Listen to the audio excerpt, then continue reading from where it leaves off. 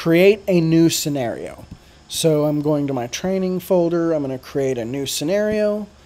And I've already got a new scenario created. And it'll look like this when you create your new scenario. Name it whatever you like. And we're going to first call up our Google Sheet. So if you haven't already created a Google account, go ahead and create a Google account.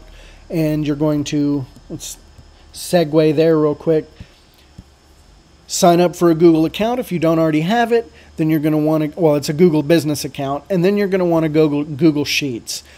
I still do this now because I don't know where the link is and I don't have it bookmarked. I just type Google Sheets into my browser and it pulls open first link, Google Sheets. Then I sign in or I go to Sheets and it will pull open the last account that I used. So once you are in Google Sheets, you'll click create a blank sheet and title it whatever you wish. I titled mine AI Automated Print Shop. And you're going to enter in your AI prompts into your different cells. And if you don't know what an AI prompt is, a prompt is what you feed the AI to get a result. In this case, we're using the sheets for our image prompts, the type of images we want to generate. So to do that, and I'm going to just go to a different account because I've already got one set up where I've got everything like I like it. So here is my sheet, and here is my list of prompts. So in cell column A, cell 2, I have abstract art broad brushstroke in vibrant colors. You can exactly copy me if you want, just for example's sake, or enter in whatever you want. Um, refining your prompts will be something you need to do before you really let this rip. You'll need to come up with a good set of prompts to generate the art that you want to put on your products. So I'm going to use this abstract art broad brushstroke. That means I'm going to call cell A2. And what I mean is let's go into make and I'm going to set up my first module. I'm going to click the little plus and I'm going to type Google Sheet. If I can spell today. There we go. And as you can see, there's quite a lot of modules that they offer. So scrolling is kind of tedious. I always do a search sheet. I'm going to select Google Sheets and you have loads of things you can do if you're a spreadsheet wizard, but all I want to do for my automated process in print on demand is get a cell. This tells it to go to the spreadsheet and call up a particular cell or a prompt uh, in this case. So first things first, we'll want to connect Google Google is really friendly. You'll notice I didn't open up a Google tab a minute ago and try to connect an API. Just like everything else with Google, all you do to make a connection is you sign in with Google. And that'll open up all of your existing Google accounts. If you have more than one, select the one you want to sign in on. And you'll select the account that has the spreadsheet you want to use. Um, for me, I create a new account every time I do a new business venture. So that's kind of the way I organize it neither here nor there. That's kind of beyond this video, but so select the account that you want to use, and I'm going to go ahead and use a connection that I already have that's live right here. And now, once you have your connection established, enter manually, you'll need to select select from the list. It'll automatically select my drive, spreadsheet ID, click here to choose file, and you'll select the sheet that you want to use. There's the one that I created for my print on demand shop. Not sure what this field does, but you'll have to select sheet one or it won't work. And so just select sheet one. I think it just uh, selects the page, perhaps. Then we'll need to define the cell. And in this case, I'm going to use A2, which was my abstract art brushstroke prompt. Then I click OK. That's my first module. Now we create our second module. Now we're going to call OpenAI. So search for OpenAI, and what we're going to do in this first module is to generate an image. You'll need to set up your connection if you haven't done so, and of course you haven't because you're probably just learning this. Title it whatever you want, and this is where you'll need to generate and grab your API key. So we're going to switch over to OpenAI, go to your account, view API keys, and you're going to create a new secret key. After you create it, it's going to pop it up and show it to you. You will need to copy and paste it right then. Once you have the pasted key or the copied key, you'll want to paste it where it says API key. Once you paste your API key there, you will need to find your organization ID. And that is done by going to settings right here. So if you're not already there, anywhere in manage account, you'll have this little sidebar and you choose settings and there we have your organization ID. You'll need to copy paste that into that field and then you have your connection established. Now we'll need to create a prompt. Well, we've already got our prompt. It's in the spreadsheet. So what you do is you're going to map it. And you notice when you click down in this field, it pops open a list. Every module that I had uh, here, right now there's only one other module, so that's all it shows. It would show up right here, and I'm going to select value. That is going to call this Google Sheet and select the value that was chosen right there.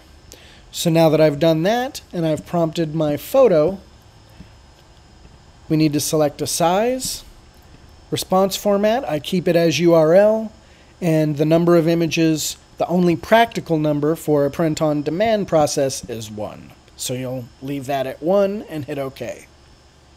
So now we have it set up to where it's going to draw from this Google Sheet and generate an image. Let's see how that works before we connect anything else. I'm going to click this little play button and run the process once. So you can see it already ran Google Sheet. It got the value of that cell and now it's running this and it's done. When it's done with its process, you'll see a little one. You can click that and you'll see input and output. So check this out. The input, it took my prompt, and then the output, under data and one, we now have a URL because I told it to output the image as a URL. And if I want to see it, I can copy that URL, go to my web browser, paste it. There's the art that was generated. Beautiful. However, it's not very big, and if I try to blow it up, it looks kind of crappy. That's where the image scaler comes in and we'll set that up here in just a little bit. Next thing is I need a product description and I need a title. Uh, so we've got the image that's going to go on our product, which by the way, right now I'm going to set up a piece of uh, canvas art. So I'm going to go into OpenAI again. This time I'm going to create a completion. And you'll notice when I select it, my OpenAI connection is already established. You don't have to do that every time.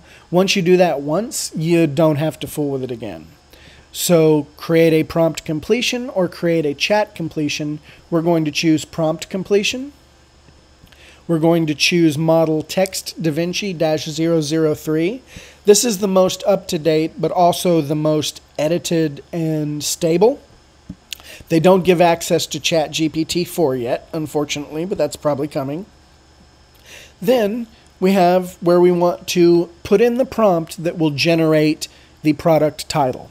So because I'm going to use this from a product title, I'm going to say generate a product title for a canvas art print using. Now, why do I say using? I'm going to map it to the cell. So, or to the image that I just generated, not to the cell, I'm sorry, not the Google Sheet, it's just sitting there. So I'm going to map it to the image output. And you'll notice when I put down my cursor, I now get two options here. One of them is this little module, and it's kind of blocking it, but that's what it's referencing right there. So, right there, I'm going to put down my cursor and I'm going to select this is the generate an image module, and I'm going to go down and put data URL. So this is going to actually generate a title based on what it sees in the image.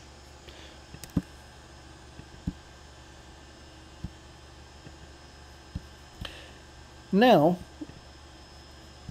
I'm going to go to Show Advanced Settings. Max Tokens is going to set a limit on my product title. So let's say 25 tokens.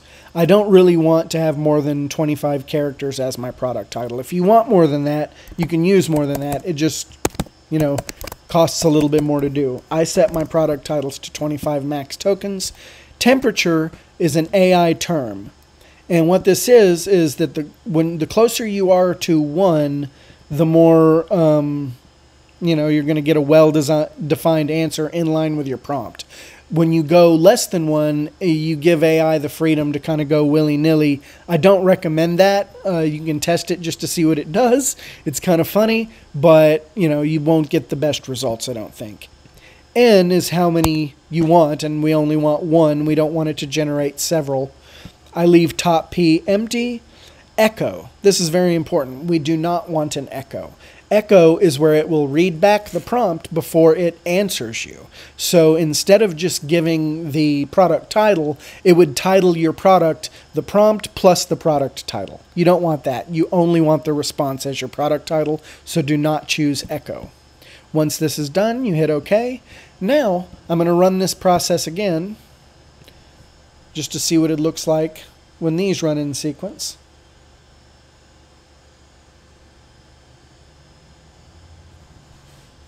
Now, every time I run these, it's adding up a total in my OpenAI. So in my OpenAI account, under Manage Account, it has the running total of how much I've spent. Every time you run a process, you're adding a few cents to that. Uh, to give you an idea, it's like two cents an image and a few cents for text. Not very much. All right, these processes have completed. Let's see what this one put out. Generate a product title for an art print using, and then it takes the URL. Now let's take a look at the output. Choices, one, text. Tranquil Night Canvas Art Print. I'm not sure how it arrived at Tranquil Night, but you know, it, let it do whatever it wants. You can refine this, um, and you can even have it to where you partially create the titles yourself. Now, let's create a product description. So we're going to create a completion again.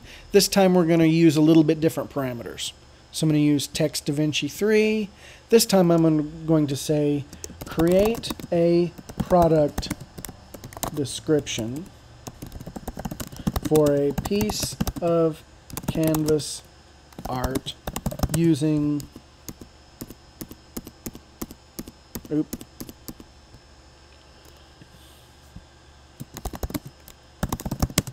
And now I'm going to reference the title that I just generated. So over here we have the completion that generated the majestic art on a seascape. And it's going to take the title and it's going to generate the description using the title. So this is something that I'm going to add right now. I'm going to kind of segue. This is just a little lesson in prompting.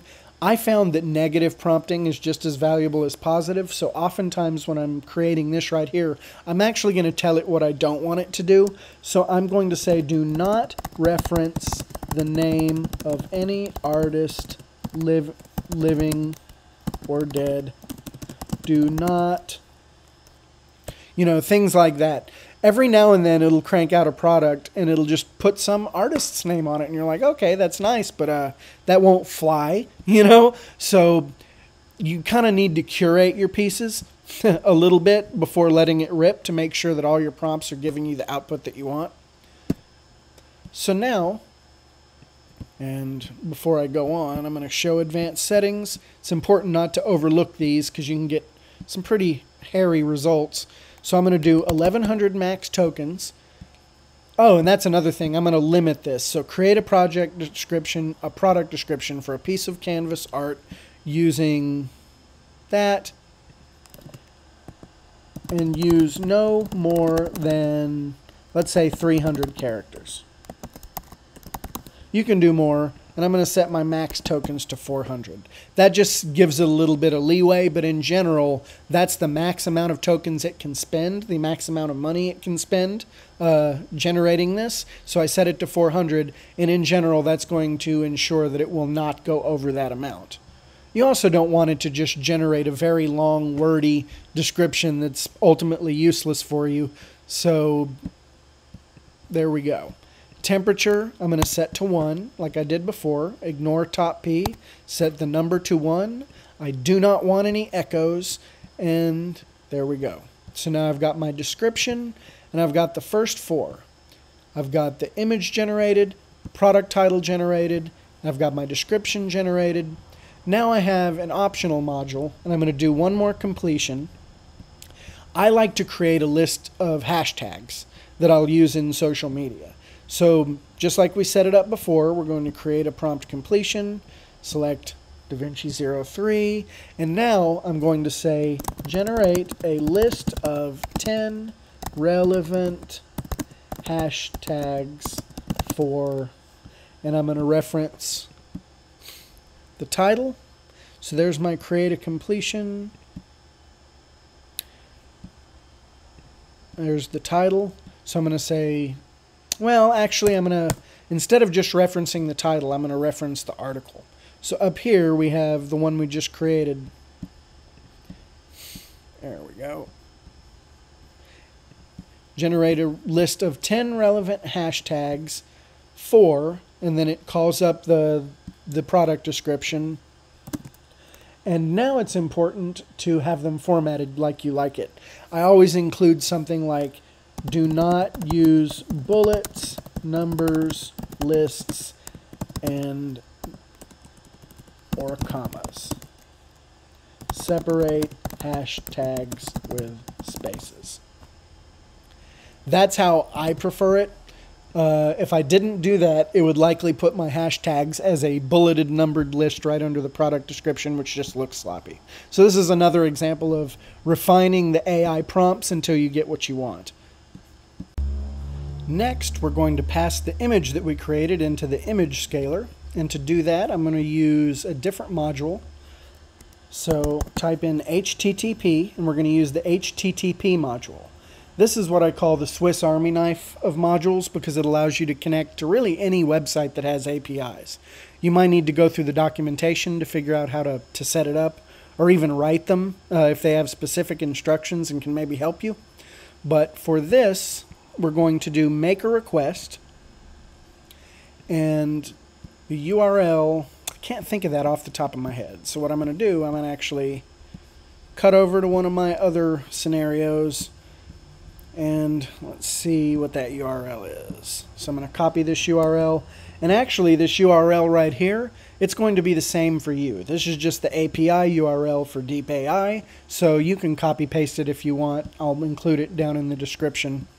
So let's go back into the scenario we were running and create that module again. HTTP, make a request.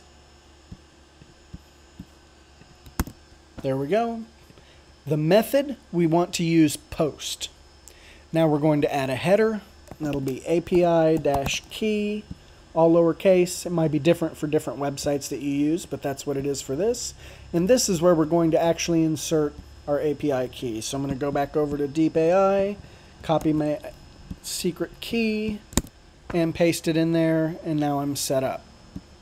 Where it says body type, we need to enter application XWW form URL encoded. And then where it says fields, we need to grab the image. So I'm going to say image lowercase, and under value, I'm going to map to the image generated by our OpenAI module. So there we go, data URL. Now it's going to take that image, pass it to this website, and enlarge it. And last option, parse response, yes. Don't need to select any advanced settings here. I've been getting the results that I want just this way. Don't know what the advanced settings do. So now we have that set up, and let's run the process and see our enlarged image.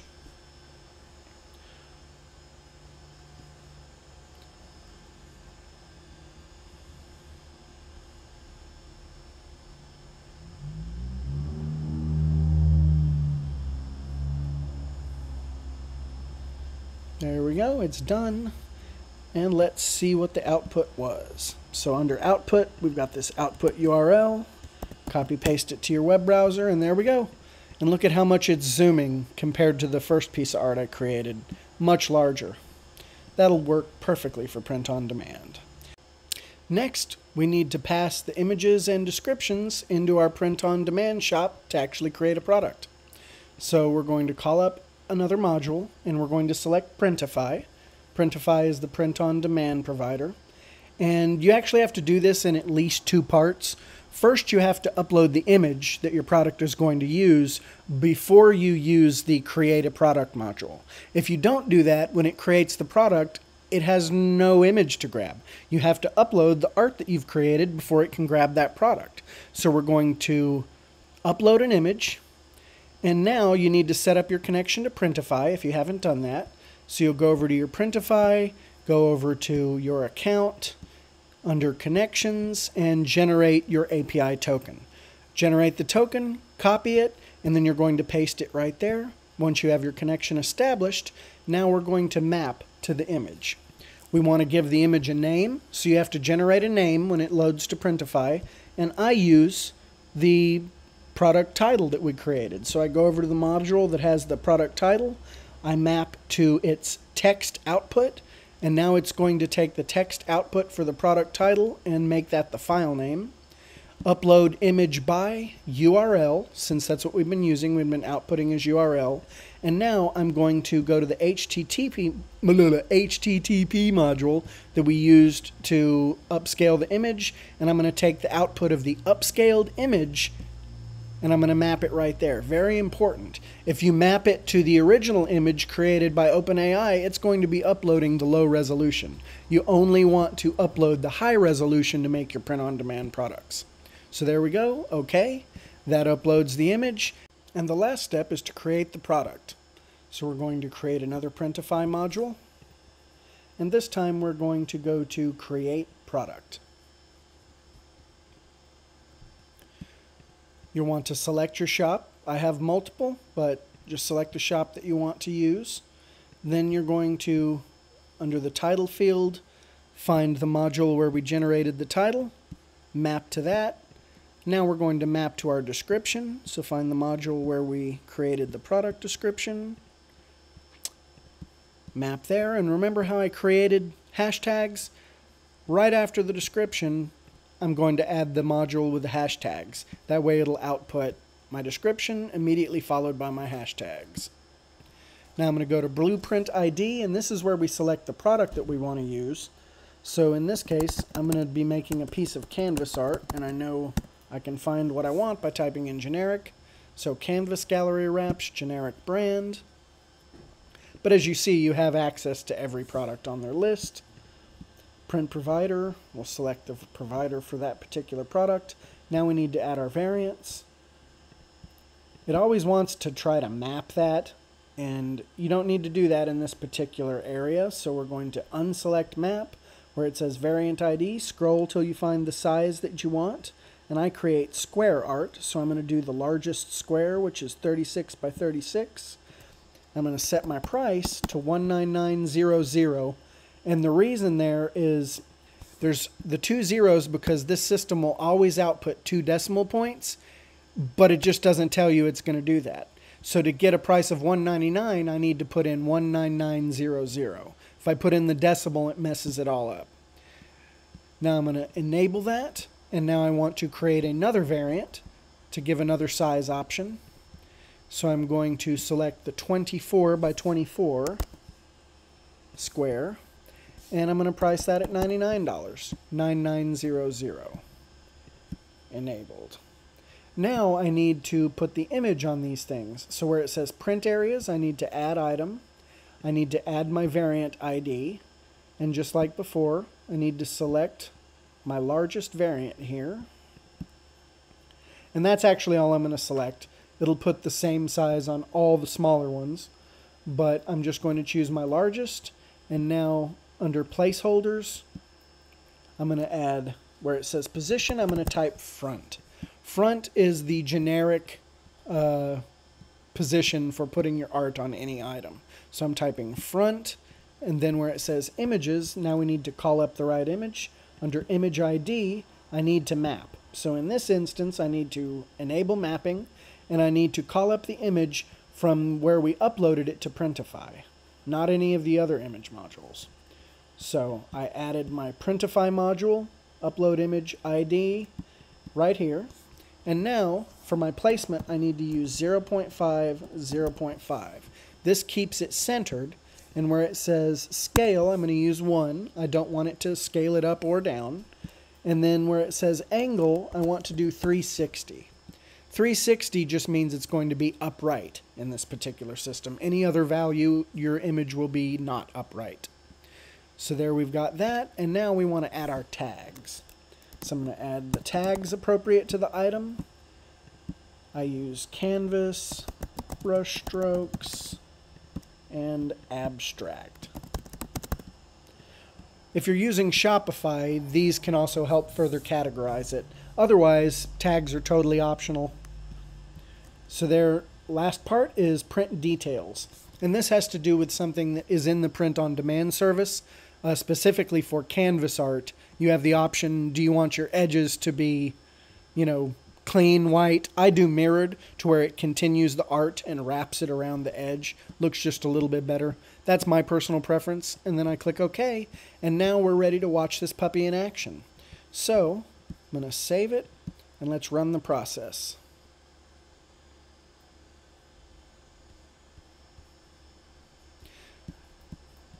And at the end of this, it's going to put a product in my Printify shop, and the product is going to be unpublished. There's also another module where we could add uh, to publish the product. I'm not doing that yet. And the reason that AI is not perfect, every now and then it generates a description or something that's just way off base. So I like to have a bunch of products be created and then go into the system on Monday morning and publish them myself and I publish them after curating it a little bit just to make sure all my descriptions and titles are, are right. Otherwise, you'll end up with some weird things. Hopefully, in the future, that changes. So, there we go. It went all the way through every process. I'm going to go over to my print on demand store, go to my products, and there we go. There's the unpublished art that it just made art print of raging waves on the rocky coastline. Well, as you can see, I need to refine how I'm doing that title right here. Probably I just need to reference uh, brushstroke art or something like that to get it to work right. But it generated the product. It put in my description. It added the the and as you can see, it kind of truncated.